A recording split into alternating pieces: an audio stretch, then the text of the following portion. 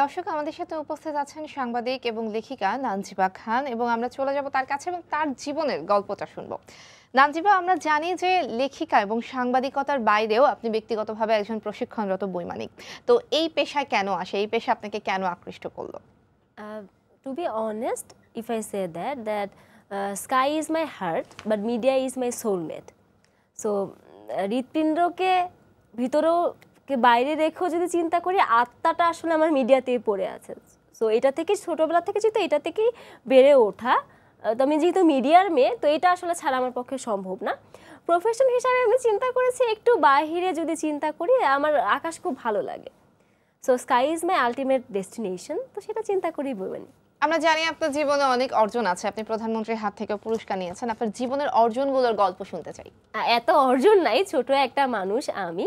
তবে আমি আমার সাংবাদিক হিসেবে যখন চিন্তা করি, তখন আমার জীবনের প্রথম ইন্টারভিউটা ছিল সাকিব আল হাসানের এবং আমি খুবই খুশি মনে বলতে পারি যে বাংলাদেশের প্রায় মাননীয় মন্ত্রী মহোদয় যারা আছে, প্রায় সবারটা না নিলেও অনেকের ইন্টারভিউ আমি নিয়েছি এবং শিশু সাংবাদিক হিসেবে নিয়েছি।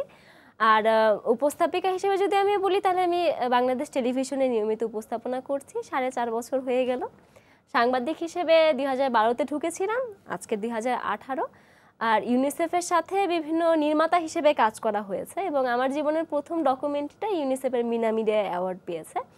বিতার্কিক হিসেবে যখন বিতর্ক করি সর্বশেষ আমি ক্যামরিয়া ডিবেটিং সোসাইটির সহ সভাপতি ছিলাম। আর রিসেন্টলি আমি ব্রিটিশ আমেরিকান রিসার্চ সেন্টারের ব্র্যান্ড অ্যাম্বাসিডার হিসেবে দায়িত্ব পালন করছি। তো ছোটোখাটো মিলে আছে কিছু অর্জন। আপনার লেখালেখির গল্পটা? লেখালেখির গল্প হচ্ছে আমি বেসিক্যালি যেহেতু সাংবাদিক তো আমি অটিস্টিক নিয়ে একটা নিউজ লিখেছি তথ্যভিত্তিক। ওইটা থেকে আমাকে অনেশা প্রকাশন নক করে। নক করে বলে তাহলে এটা একটু বাড়িয়ে কি বই আকারে করা যায়? তখন আমি ভাবলাম যে বই যেহেতু লিখব তথ্যভিত্তিক একটা বই লিখি। রিসার্চ শুরু করলাম তো ঘর থেকে রিসার্চটা শুরু, যেহেতু আমার ছোট ভাইটাও অটিস্টিক ওর নাম তাসিন খান জিম। তো জিমকে দিয়ে আমি রিসার্চ করে প্রত্যেকটা পদক্ষেপ পর্যবেক্ষণ করে একটা ডিটেলসে আনলাম এবং অভ্যাসগতভাবেই সাংবাদিকতার বৈশিষ্ট্যটাকে অ্যাপ্লাই করলাম, খুঁটিনাটি তথ্য নিলাম, স্কুলগুলিতে ঘুরলাম, এরকম বাচ্চাদের সাথে কথা বললাম গার্জেনদের সাথে কথা বললাম সব কিছু মিলিয়ে ক্লিনিকারি কিছু তথ্য নিয়ে বইটা সাজিয়েছি। করে প্রকাশককে দিলাম তারা বই আকারে করে দিল এবং কভারটাও আমি করার চেষ্টা করেছি। জানি না দর্শকদের কেমন লাগবে তবে আশা করি খারাপ লাগবে না। প্রতিটা সেক্টরে আপনি কাজ করেছেন কোন সেক্টরে কাজ করে আসলে বেশি মজা পেয়েছেন? আগ্রহের দিকটা কোন দিকে অথবা কোন দিকটা বেশি টানছে আপনাকে এই মুহূর্তে? যদি কেউ যদি জিজ্ঞেস করে এক কথায় নাজিবাকে তাহলে আমি বলব নাজিবা একজন সাংবাদিক। সংবাদ মাধ্যমটাকে ভালোবাসি সংবাদের জন্যই আজকে আমি এখানে এবং সংবাদ নিয়ে কাজ করতে চাই।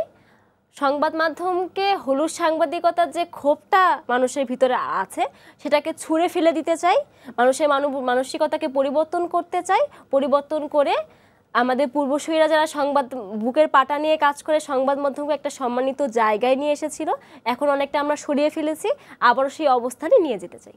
সাংবাদিকতা কিংবা বৈমানিক অথবা যদি বলি লেখিকার কথা, ভবিষ্যৎ জীবনে নিজেকে কোন জায়গায় দেখতে চান? এটা খুব টাফ প্রশ্ন। আমি আসলে আকাশ ছাড়া এখন আমার কাছে মনে হয় না আমি চোখে কিছু দেখি। আমার বাসা হচ্ছে ওই দিকে এয়ারপোর্টের কাছাকাছি। সো আমি ঘুম থেকে উঠে উঠি প্লেনের শব্দ শুনে, ঘুমানোর সময় প্লেনের শব্দ শুনে করি। তো অ্যাজ এ প্রফেশন যদি করি, আমার দায়িত্ববোধ জায়গা থেকে আমি পাইলটটাকে কখনোই মানে দূরে সরানোর চেষ্টা করি না। আর অ্যাজ এ মিডিয়া পার্সন হিসেবে যদি আমি চিন্তা করি মিডিয়াও আমি ছাড়বো না। দুইটাকে রেখে যেভাবে কাজ করা যায়, যতই কষ্ট হোক, যতই কথা শুনতে হোক বা যতই বেশি যেভাবেই পরিস্থিতি পড়ি না কেন, আমি দুইটার একটাও ছাড়বো না। আচ্ছা শেষ প্রশ্ন। আমরা শুনেছি আপনার পরিবারের গল্প শুনেছি আপনার পরিবার অনেক বেশি সাপোর্টিভ বাবা মা কোন দিকে আপনাকে যেতে বেশি উৎসাহ দেয় অথবা কোন দিকটার কথা বলে?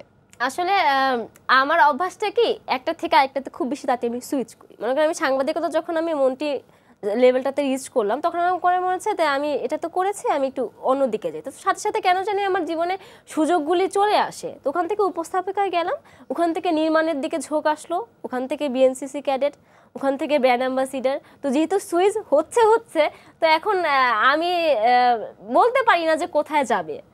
তবে ইচ্ছা আছে যদি মিডিয়া ব্যক্তি হিসেবে থাকি তাহলে একজন নিউজ পার্সন হিসেবে নিজেকে প্রতিষ্ঠা করতে চাই।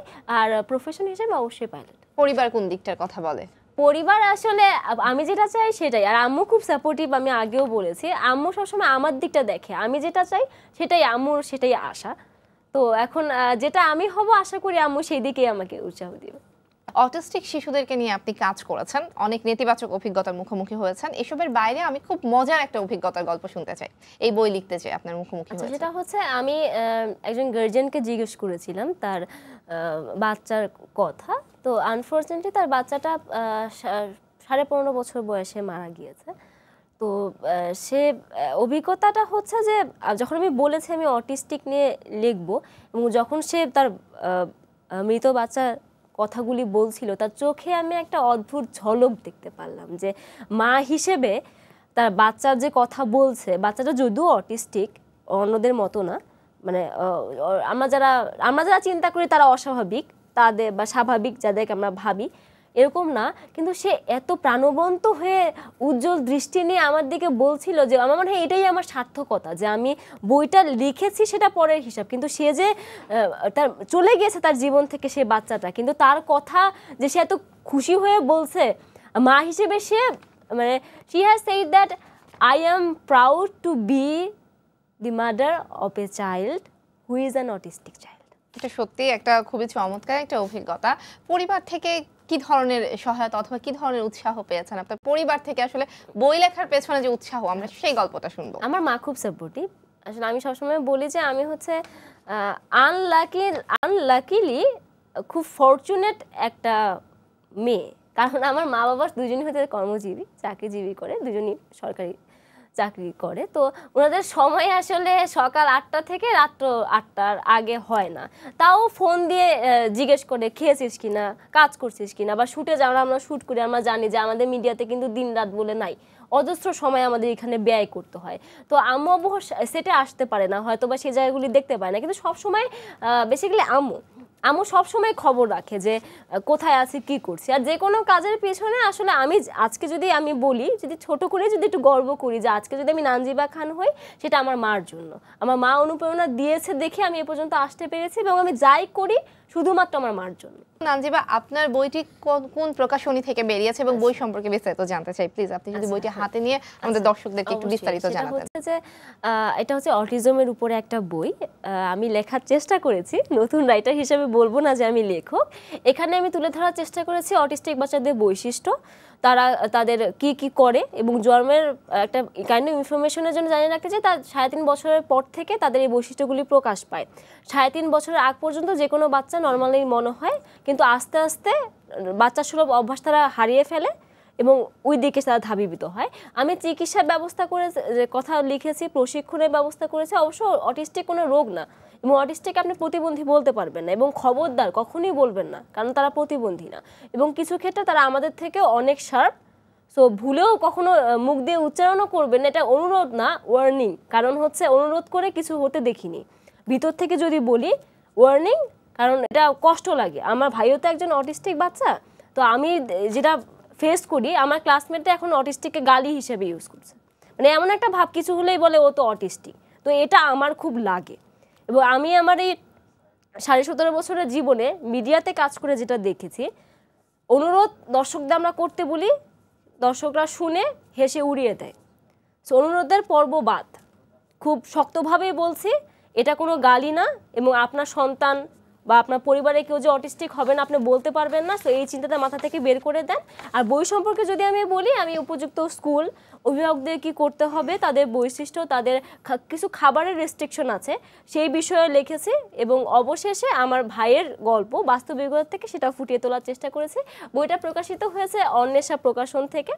অন্বেষা প্রকাশনকে ধন্যবাদ এই সাবজেক্টটিকে তুলে ধরে আমাকে বই লেখার সুযোগ দেওয়ার জন্য। আপনারা বইমেলায় যাবেন, অন্বেষা প্রকাশনের প্যাভিলিয়ন বাইশে বইটি পাওয়া যাচ্ছে। কিনা লাগবে না, হাতে নিয়ে ইচ্ছা হলে একটু পড়ে দেখবেন।